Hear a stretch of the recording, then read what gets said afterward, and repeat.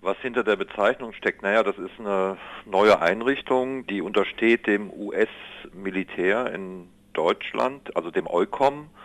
Sie übernimmt aber polizeiliche Aufgaben, auch innerhalb Deutschlands. Und die Bundesregierung ist, der Bundestag auch damit erst im November 2012 informiert worden. Und da habe ich eine kleine Anfrage gemacht, zusammen mit Paul Schäfer, was eigentlich dahinter steckt. Und dieses Joint Interagency Counter Trafficking Center arbeitet schon länger, seit, seit 2011. Aber wie gesagt, es gab erst im November 2012 eine offizielle Bestätigung des Vorgangs gegenüber der Bundesregierung. Das heißt, die US-Regierung finanziert diese Stelle auch. Ja. Weiß man denn, wer dort beschäftigt sein wird? Also es sind wohl 40 Mitarbeiter beschäftigt, die letztlich dem Verteidigungsministerium unterstehen, die aus verschiedenen Behörden in den USA kommen. Die offizielle Aufgabenbegründung heißt ja, dass es hier um Drogen, Waffen, Menschenhandel sowie Terrorismus genau, geht. Genau.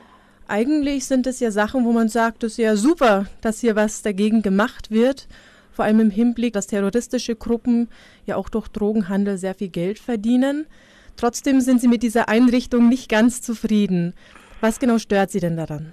Naja, ich meine, wenn solche polizeilichen Aufgaben halt wahrgenommen werden, dann muss das natürlich auch rechtsstaatlich vor sich gehen und die ganze Art und Weise, wie das eingerichtet wurde und muss auch leider sagen, dass Desinteresse das aus der Antwort der Bundesregierung hervorgeht an dieser Einrichtung, die finde ich schon etwas alarmierend. Also die Öffentlichkeit muss über das genaue Wirken solcher staatlicher Strukturen schon informiert sein. Ne? Ich meine, natürlich Terrorismusbekämpfung, Drogenhandel ist, ist sinnvoll, aber es muss halt auch demokratisch zugehen. Hat denn die Bundesregierung Auskunft gegeben, auf welchen rechtlichen Grundlagen die Einrichtung steht?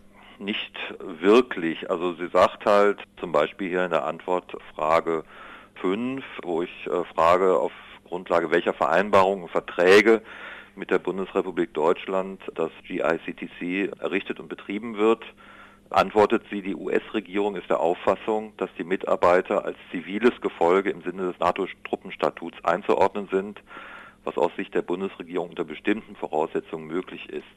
Die US-Regierung wird hierzu um weitere ausführliche Informationen gebeten, soweit die Antwort der Bundesregierung. Das heißt, dass die Bundesregierung selbst völlig unsicher ist, auf welcher rechtlichen Grundlage das stattfindet.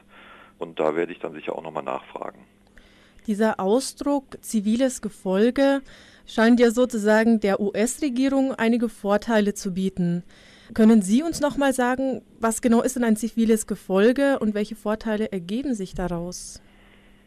Ja, der Vorteil ist vielleicht, dass in, das geht ja auch aus einer anderen Antwort der Bundesregierung hervor, dass die USA zwischen polizeilichen und militärischen Aufgaben nicht so trennt, wie das in Deutschland der Fall ist und dass es sozusagen da einen fließenden Übergang gibt zwischen polizeilichen und militärischen Strukturen und das wird von Seiten der, der US-Regierung als vorteilhaft angesehen. Laut Bundesregierung fallen ja auch ausländische Streitkräfte nicht unter den Streitkräftebegriff des Grundgesetzes. Und die Anfrage wurde ja dann auch beantwortet. Deswegen ergeben sich aus dieser Verfassungsnorm keine Einschränkungen für eine polizeilich-militärische Zusammenarbeit. Also kann es sein, dass zwar das Grundgesetz unsere militärpolizeiliche Aufgaben verbietet, aber dass ausländische Streitkräfte diese durchaus ausführen können? Naja, das muss man leider so interpretieren, äh, diese Antwort, und das fände ich dann schon sehr problematisch. Aber es gibt ja bereits auch einige Zusammenarbeit zwischen deutschen Behörden und zum Beispiel dem Ministerium für innere Sicherheit der Vereinigten Staaten. Ja. Es gibt ja auch die Zusammenarbeit zum Beispiel der Behörde für Grenz- und Zollkontrollen, die ja auch zur Strafverfolgung und Gefahrenabwehr in der Bundesrepublik Deutschland tätig ist. Auf welchen rechtlichen Grundlagen findet dann diese Zusammenarbeit statt? Ich vermute, dass das ähnlich begründet wird. Also ich weiß auch nicht genau, auf welchen rechtlichen Grundlagen das stattfindet. Also das ist sozusagen das große Problem, dass es so schwammig gehalten wird, genau. dass man genau. gar nicht richtig sagen kann, was sozusagen ja. jetzt hier rechtens ist oder ob es nicht rechtens ja. ist. Man hat ja auch einige unschöne Fälle der Arbeit amerikanischer Behörden auf deutschem Boden. Wir erinnern uns ja an die Entführung von Khaled El-Masri oder ja. dem ägyptischen Imam, der über den Militärflughafen Ramstein nach Kairo ausgeflogen wurde und dort gefoltert worden ist, zumindest nach eigenen Angaben. Finden Sie das vor allem auf diesen Hinblick hin problematisch, dass die US-Behörden hier tätig sind?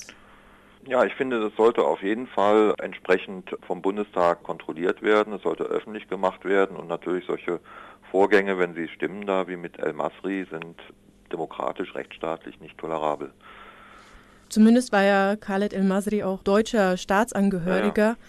Da muss man sich natürlich fragen, ob die deutsche Regierung ihre Bürger sozusagen nicht mehr gut schützen kann, wenn hier sozusagen eine ja, ausländische. Die Frage stellt sich dann natürlich. Ja.